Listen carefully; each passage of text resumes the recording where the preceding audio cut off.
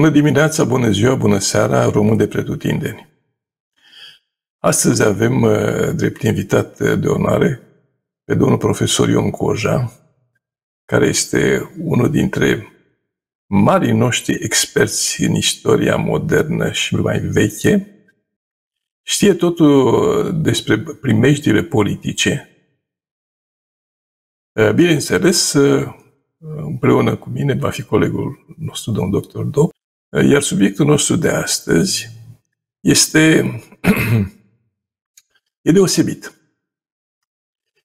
Acum vedem că toată lumea e lovită de crize și aceste crize se generează între ele într-un mod absolut uh, interesant. Dar uh, problema e următoarea. Noi am tot strâns crize care au generat alte crize, care au generat alte crize în continuare și n-am rezolvat nimic din spate.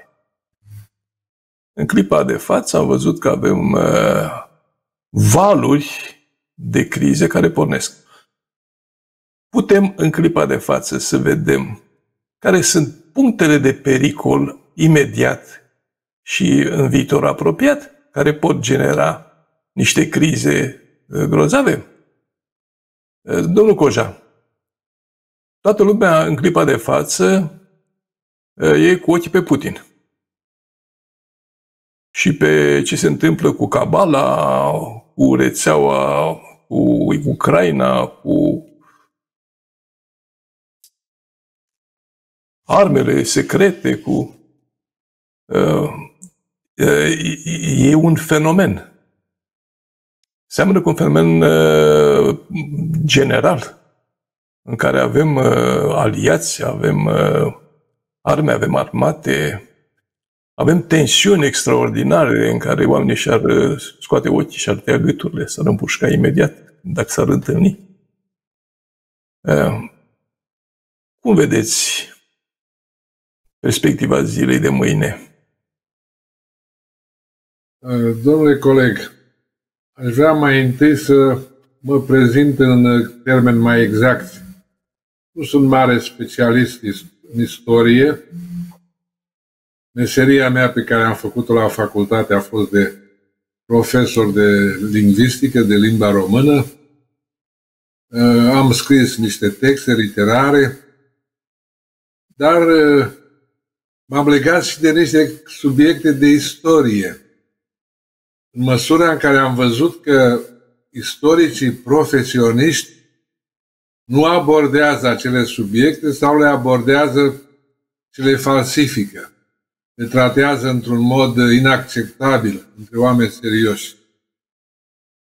Cât de cât uh, am considerat că, mai ales după 90, nu vorbim în termenii adevărului nici despre Ceaușescu și epoca sa de aur. Sunt uh, primul care am scris după 90 un text favorabil lui Ceaușescu, asta după ce până în 90 am refuzat să scriu vreun text de laudă față de regimul Ceaușescu. Nu intru în detalii, nu mă laud cu treaba asta pentru că uh, nu e de laudă ce am făcut. M-am, m-am ținut tare, nu cumva să laud ce se întâmpla pe vremea aceea.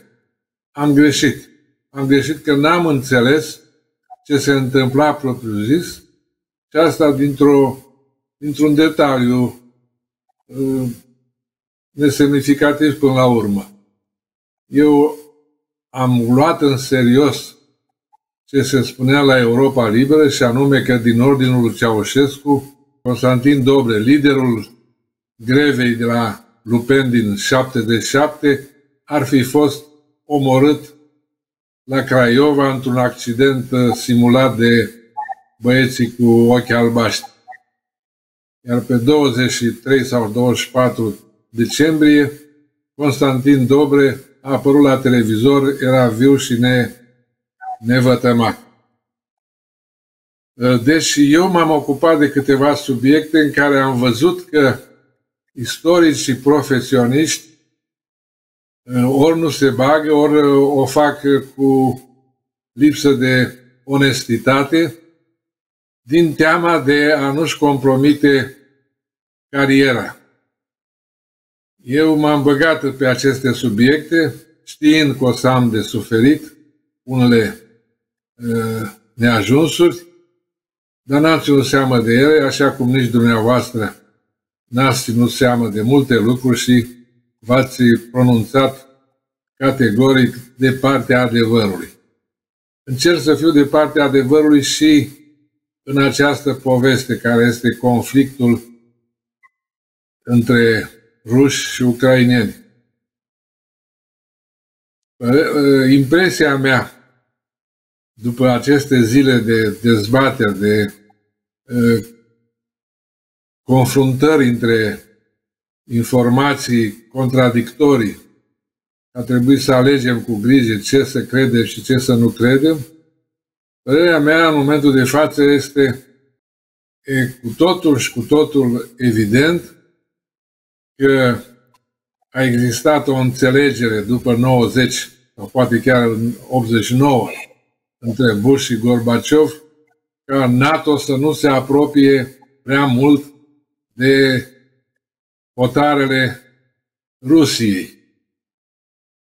Sunt documente care au apărut de curând și care dovedesc că americanii, liderii NATO, și-au încălcat promisiunile și au permis sau chiar au încurajat țări din vecinătatea imediată a Rusiei să intre în NATO, aducând astfel forțele armate ale NATO la o apropiere, la o distanță foarte mică de Rusia, ceea ce Rusia nu putea să accepte cu plăcere.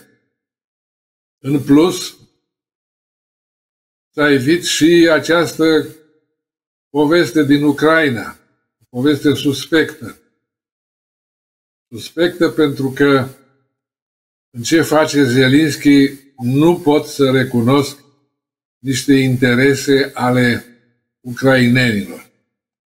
Și așa cum au demonstrat și au recunoscut pe față, sunt în joc și interese la care te duce în mod direct informația că datoriile de stat ale Ucrainei au fost cumpărate de clanul Rothschild. Clanul Rothschild au băgat miliarde de euro, de dolari, ca să achite datoriile pe care le-a făcut statul ucrainean în cei 30 de ani de după 1990. Aceste datorii nu știu cât sunt de mari, dar nu sunt în orice caz neînsemnate, iar dacă uh, planul Rothschild, o entitate evreiască extrem de eficientă din punct de vedere economic, face o investiție într-o țară ca Ucraina, acea investiție nu poate să nu urmărească niște scopuri de care nu prea știam înainte. Întâmplător, eu am avut informații din Israel, am câțiva cunoscuți din Israel care mă țin la curent cu ce se întâmplă, cu disputa de idei din Israel și sunt atent la subiectul relațiilor dintre Israel și România. În anul 2000, am publicat un apel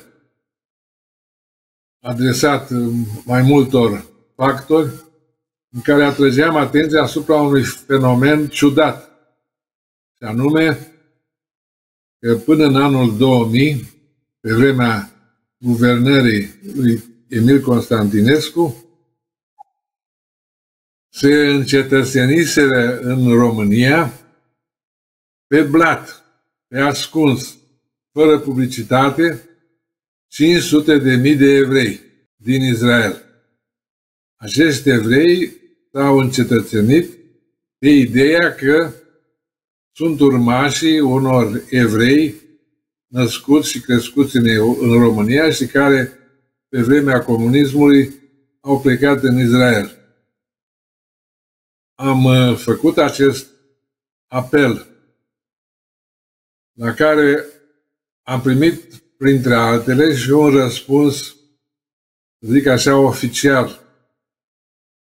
Am uh, luat legătura printr-un intermediar cu ofițerul SRI care făcea legătura între Băsescu și SRI și acel ofițer l-a întrebat pe Băsescu ce părere are despre apelul pe care îl lansase meu.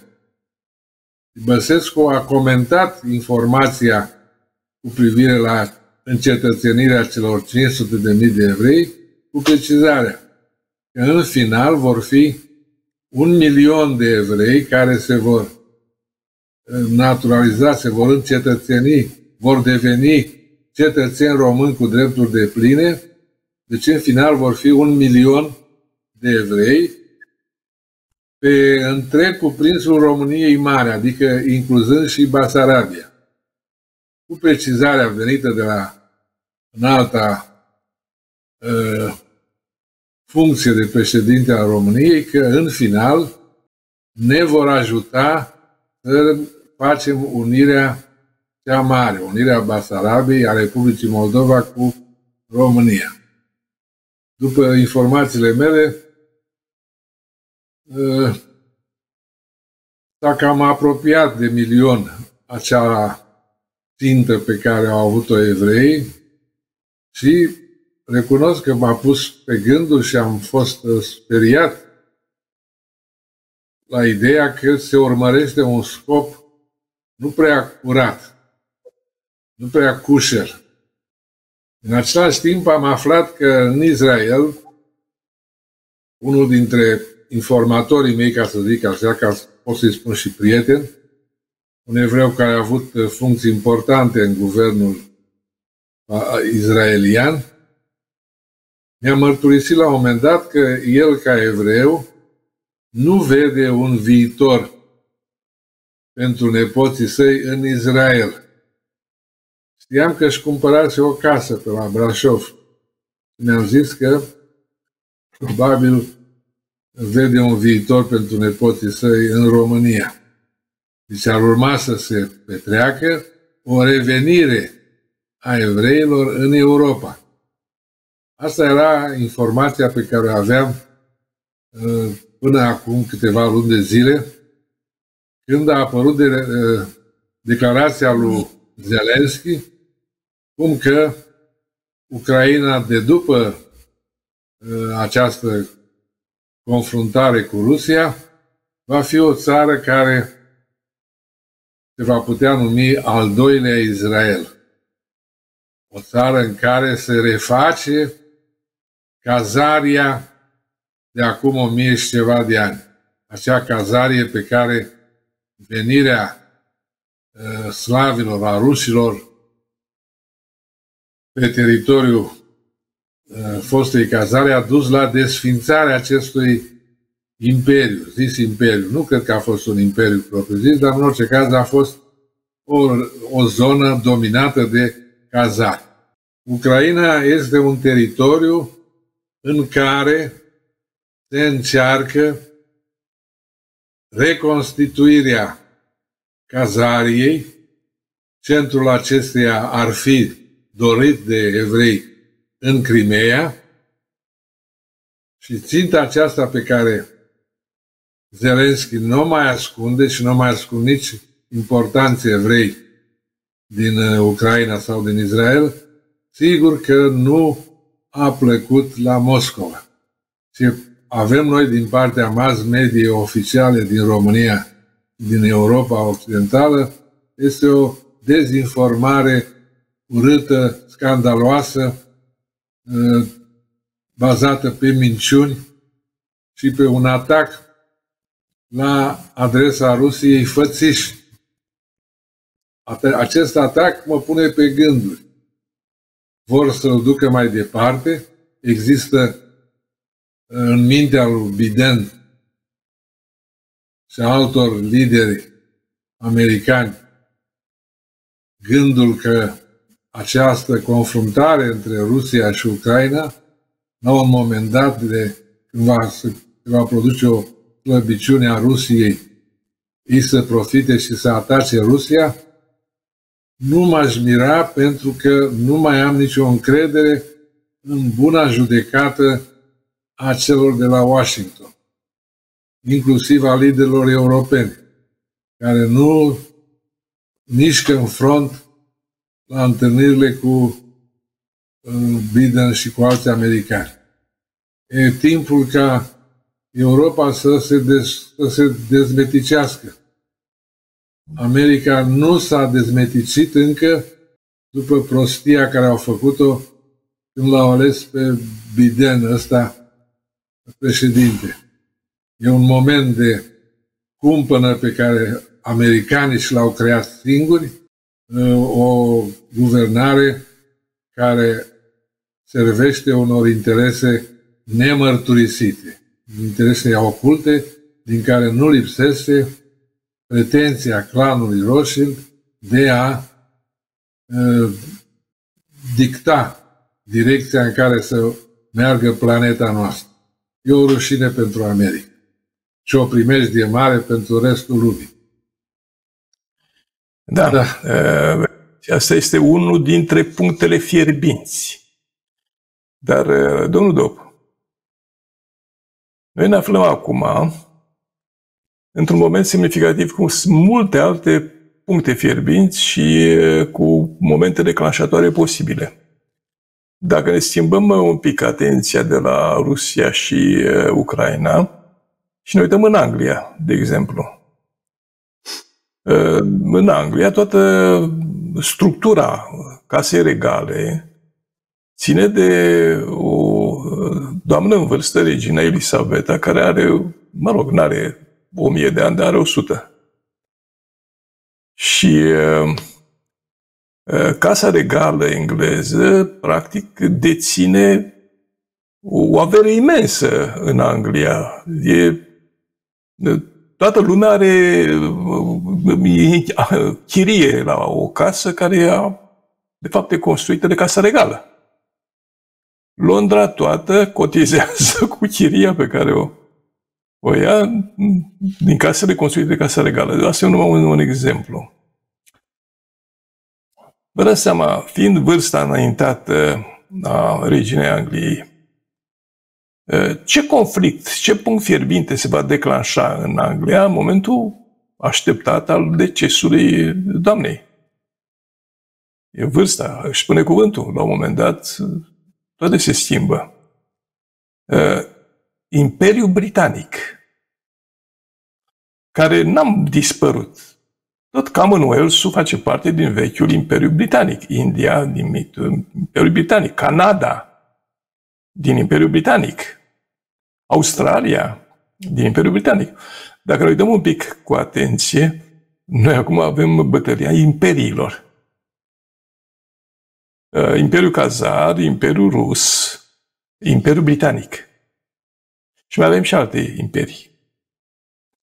Avem, uh, fiecare dintre ele poate declanșa o, o altă criză. Uh, în situația aceasta, noi ne aflăm uh, ca într-o balanță cu multe brațe care stă pe un vârdeac. Dacă apeși un braț, se ridică altele. Dacă fixezi o direcție și o bați în cuie de nu se mai mișcă, tot mai ai grade de libertate a acelei balanțe. Deci, ne întoarcem un pic la, la Putin are în cap o direcție. Direcția lui să distrugă un pericol pe care îl vede arme de distrugere în masă, pe care le fac ucrainienii sau cine Dumnezeu e acolo, că nu populația face. Harkov, care e acum cu praf. Bun. Bun, e o direcție. Presupunem că se îndeplinește această direcție. Ne mai rămân o grămadă, pentru că asta e un, o mult balanță cu multe brații, dar multidimensională. Cum vedeți problema, domnul Dop? Domn profesor, cred că uh, timpul în care trăim și cele ce se întâmplă în jurul nostru uh, trebuie să ne facem să ieșim din detalii și să, ca într-un muzeu bun, ca în Bruckenthal, ca muzeul de artă de la Viena sau Fine Museum din uh, Arts Museum de la Boston, trebuie să facem un pas în, puțin înapoi și să vedem lucrurile la scară mai mare. Cred că civilizația umană trebuie să gândească la uh, viitorul stadiu, la stadiul 1 de civilizație. Și criza econom- uh, energetică cu care ne confruntăm este invitație de a gândi cum vom pătrunde în stadiul 1 de civilizație. Vedeți, spuneați și dumneavoastră și domnul profesor că este important ce se întâmplă pe câteva meridiane, în câteva spații uh, dorite, bogate, care sunt uh, uh, privite cu mare interes. Cred că este foarte important să des, descifrăm geografia adevărului.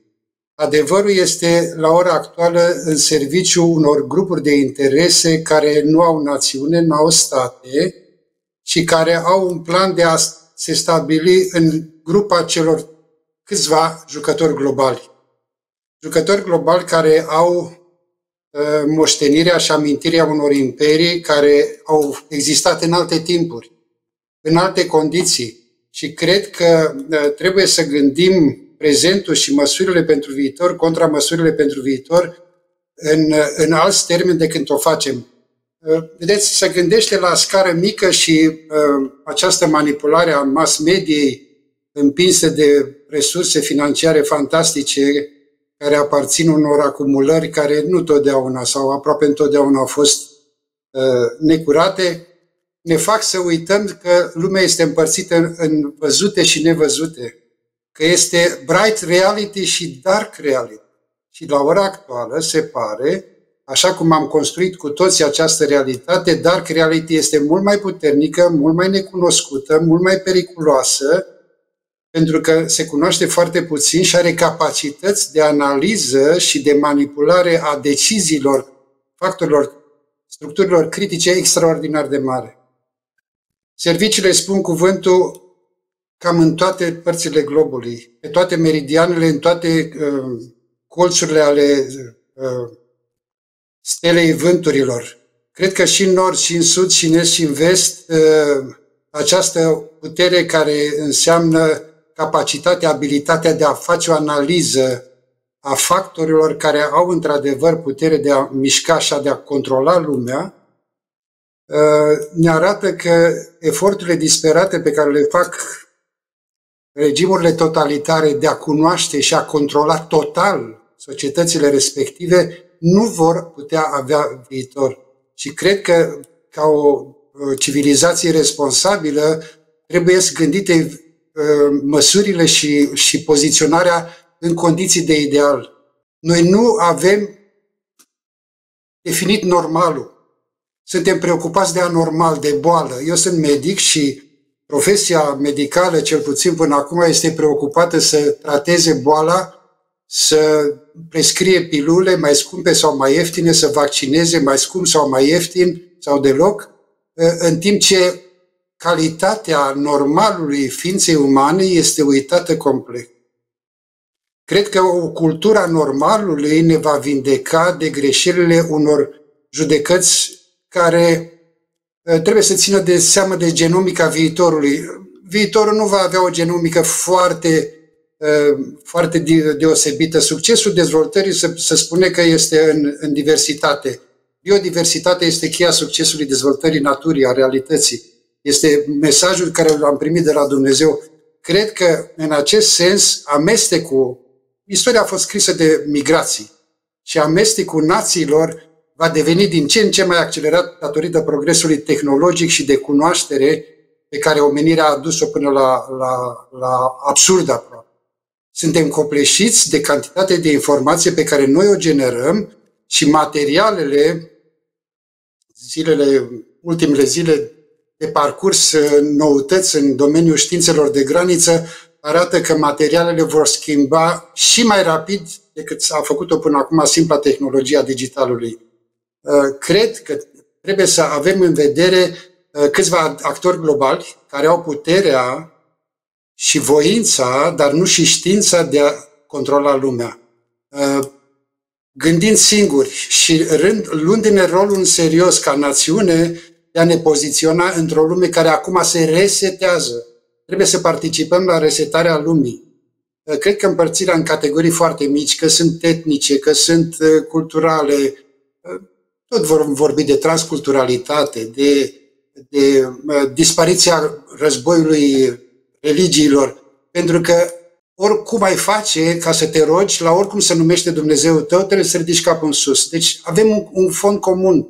Uh, suntem pe o planetă care ne invită la colaborare și la învârtirea rotundă a realității. Uh, da, foarte corect. Foarte Dacă îmi permiteți, da. domnule profesor, care este uh, locul în care se întâlnesc acești aceste personaje care discută și hotărăsc soarta planetei, n-aș putea să vă precizez, dar în orice caz sunt undeva în apropiere de Washington și de Londra. Între Londra și Washington uh, sunt uh, destinația unde pot fi găsiți cei care în momentul de față încearcă să să hotărască destinul planetei. N-ar fi rău să existe o asemenea entitate, numai că așa cum funcționează în momentul de față sau până în momentul de față, această entitate care decide pe plan mondial ce se întâmplă, s-a dovedit a fi neinspirată, a fi cinică, a fi neinteresată de valorile fundamentale ale umanității. Este o entitate lipsită de credința în Dumnezeu, de credința în valorile familiei, de credința în uh, valorile națiunii, chiar ale rasei. Ei sunt uh, preocupați de ideea de a ne amesteca, de a, de a se amesteca națiunile și rasele încât să nu mai existe nicio națiune și nicio rasă propriu-zisă. Acum, uh, vedeți că influențele culturale sunt diverse. Avem uh, conflict cultural uh, fără să avem conflict cu persoanele din diverse culturi. Gândim în mod diferit, avem viziuni diferite. De ună zi am, am băut bragă, bragă. Nu se mai fabrică bragă de multă vreme. Uh, ultima persoană care fabrica bragă, care am cunoscut eu, era Madame Haimovici, care era evreică, era în uh, Bușteni, așa, făcea o bragă foarte bună pe care o beam când mergeam pe munte. Doamna Era Bairamovici se numea. Doamna Bairamovici se numea. Era în Bușteni, da. pe stânga, cum trecea de fabrica de hârtie. Da. Exact. Exact. Bun. Deci a rămas în memoria noastră. Bun. Um, noi ne afirmăm cu valorile pe care le avem. Și nu suntem belicoși, nu ne avem de gând să ne batem cu unii sau cu alții. Iar istoria, până la urmă, ne pune în valoare. Indiferent cum se laudă unii, cum mișcă alții, cum se omoară între ei, cum ne pune în valoare vrând nevrând pentru că producem pe direcția lui Dumnezeu. Noi avem acum o luptă pe toate canalele, o luptă între religii, clară și definitivă. O luptă între concepte, o luptă între gene, cum am văzut printre altele, ă, dar ă, fiind poporul păcii, căutăm totdeauna să găsim, ă, să găsim partea de balanță care se poate balansa până la momentul de echilibru. Să nu uităm de Tache, Ianche și Cader. Totdeauna au fost primitori și cu, cu Cader și cu Ianche. Noi fiind Tache. Așa. Deci ne-am înțeles bine cu toată lumea, pentru că asta este singurul moment de echilibru care este pacea. Conflictul se duce. Ne aflăm în momentul și în perioada în care părțile combatante se vor bate între ele până când își consumă resursele. Dar probabil că vor avea succes și unii și alții într-o anumită măsură. Totdeauna vor găsi motive pentru care se bat, dar, cum vă spuneam înainte, dacă ei trei crize care se generează reciproc, ele pot fi rezolvate printr-o singură măsură. Noi trebuie să fim atenți în clipa de față la toate manipulările care se fac, la toate etichetările care se dau, la modul în care sunt interpretate faptele. Ele nu prea au o legătură cu realitatea adevărată. Noi trebuie să ne cultivăm sentimentele reale, înalte, pentru că avem o viață pe care o risipim degeaba dacă nu progresăm ca om. Asta este uh, primul lucru care ne lovește. Oameni care sunt sacrificați pe altarul războiului, fără să-și fi dus la îndeplinire misiunea lor umană. Uh, e absolut inutil pentru că nu rezolvă nicio criză, crizele se multiplică și ajung în final să fie destructive, total destructive. Rezolvarea se face prin logică mai complexă, nu doar prin comandă-control. Comandă-control nu ajută foarte mult, pentru că structuri piramidale de comandă-control se vor mânca între ele până la capăt. Și vorba lui Manega, se vor bate americanii cu rușii până la ultimul ucrainian.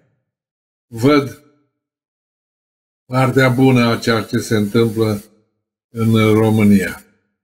Și partea bună constă în uh, rezistența pe care românii o arată față de uh, tentațiile, hai să zicem, ale globalizării, care nu are această globalizare nicio șansă să fie acceptată de români. Uh, deocamdată, avem de a face cu un sistem politic care împiedică, împiedică pe români să-și spună voința și să facă o alegere adevărată. Sistemul politic la care am ajuns ne obligă să alegem între câteva partide, partide compromise, și care în niciun caz nu sunt capabile să reprezinte dorințele electoratului. Speranța mea este ca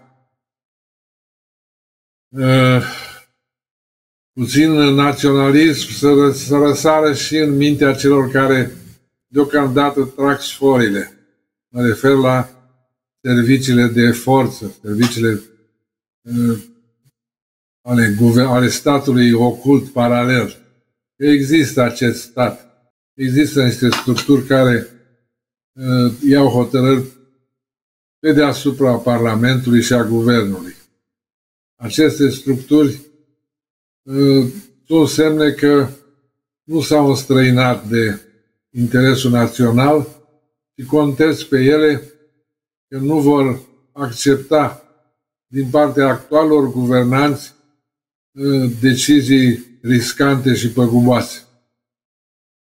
Deși faptul că am ajuns să fim conduși de indivizi ca Câțu sau uh, Ludovic Orban e un semn că uh, aceste structuri nu își fac datoria și ne lasă la voia unor întâmplări păguboase, cum au fost cele care au adus în fruntea țării asemenea personaje. Inclusiv cei care conduc partidele, așa zis, importante, cele două partide importante. N-au ce căuta în funcția respectivă.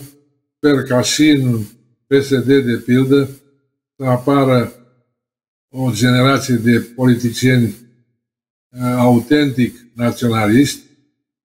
Sunt optimist în privința faptului că cunosc calitatea tineretului din România și calitatea aceasta, aceasta îmi dă nădejde că va ajunge să impună la guvernarea României, la funcțiile de, de decizie, persoanele potrivite. Deocamdată avem în viața politică niște lideri uh, de rușinea lumii, să zic. E adevărat, uh, trebuie să realizăm și să ne asumăm că trăim într-o nouă realitate. În această nouă realitate avem nevoie de un nou sistem de referințe, de valori care să reprezinte prezentul și viitorul, uh, ținând seama că astăzi dezvoltarea tehnologică ne permite să gestionăm cunoașterea mai transparent. Această dezvoltare a cunoașterii uh, beneficiază de posibilitatea utilizării creierului multiplu, gândirea comună, liquid brain, creierul lichid al unui grup de înțelepți care gândesc pe bază bună, de sănătoasă, de valori naționale, pot să realizeze și să gestioneze dualitatea ființei umane. Homo sapiens are o, o structură duală. În același timp, în orice, ca și în orice detaliu al realității, există și bun și rău. În fiecare din noi avem și bun și rău. Unii au mai mult dintr-un capitol, alții mai puțin, sau invers. Cred că, ținând seama că genetica se derulează uh, prin istorie, din, în istorie cu, prin migrație, conducătorii întâi trebuie crescuți și abia al, apoi aleși. Noi alegem fără să, fără să ne cre, creștem fără să ne formăm conducătorii. Regalitatea, instituția regalității, asta avea una din calitățile fundamentale. Creștea pe cel care trebuia să asculte, să știe să aleagă pe cel mai înțelept sfetnic, pe cel mai, cel mai înțelept grup de sfetnici pentru a putea lua deciziile în, în momente de criză. Cred că, păstrând ideea că normalul este cadrul de referință, putem găsi, face efortul să identificăm valorile naționale care au existat, care există și sigur vor exista, cum spunea și domnul profesor uh, Adineauri, uh, trebuie să dăm șansa tinerei generații să se manifeste pentru că au altă abordare, operează cu mai multă informație, operează uh, mai, mai deschis cu ceea ce înseamnă noile reguli. Cred că un mix înțelept între experiență și energie va putea să constituie un capital de schimbare, de adaptare a României, care ne dă dreptul să existăm alături de celelalte uh, națiuni civilizate și dezvoltate. Nu avem voie să ratăm această șansă de repornire în istorie. Trebuie să menținem România în istorie și în geografie. Ne trebuie omenie, ne trebuie bunătate, ne trebuie să avem puterea să ne punem în locul altuia. Noi asta facem. Uh, românii fac asta, se așează uh, și în uh, pantofii unui flământ și a unui fugar și a unui om care nu știe. Asta o facem totdeauna. Avem noroc. Avem noroc că nu suntem prea eficienți. Nefiind prea eficienți, suntem greu de cucerit pentru că nu avem nu avem atâtea șosele perfecte care să permită cuiva să vină repede dintr-un loc într-altul. Avem noroc că avem încredere în biserică și uh, nu prea ne uităm uh, tot timpul la știri. Dar mergem la Paște de înviere, că uh, Hristos a înviat și că învie de fiecare dată. Și că unde sunt trei, o voi fi și eu. Da.